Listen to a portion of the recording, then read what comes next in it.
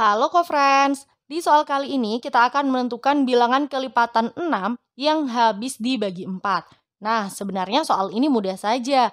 Bilangan kelipatan 6 yang habis dibagi 4 itu sama saja dengan kelipatan persekutuan dari 6 dan 4.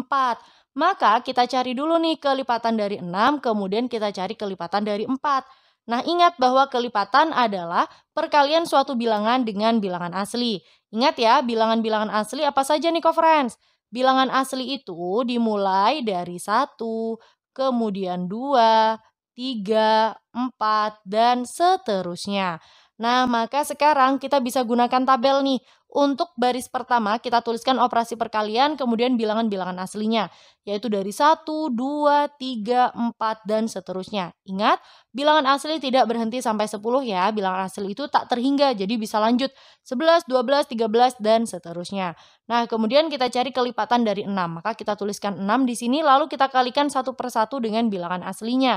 6 dikali 1 yaitu 6, 6 dikali 2 12, dikali 3 18, dikali 4 24, 6 dikali 5 30 dan seterusnya. Nanti co-friends bisa lanjutkan ya di rumah.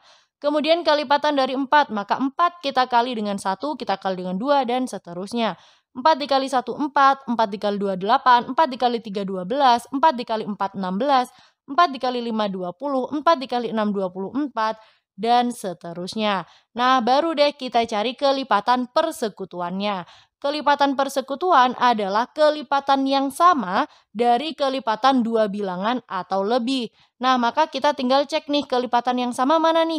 Yang pertama yaitu 12, kemudian 24, kemudian 36, dan nanti kalau misalkan conference selanjutkan nih dikali dengan 11, 12, 13, dan seterusnya, conference akan menemukan kelipatan-kelipatan persekutuan yang lainnya. Sehingga bilangan kelipatan 6 yang habis dibagi 4 itu sama dengan kelipatan persekutuan dari 6 dan 4, yaitu 12, 24, 36, dan seterusnya.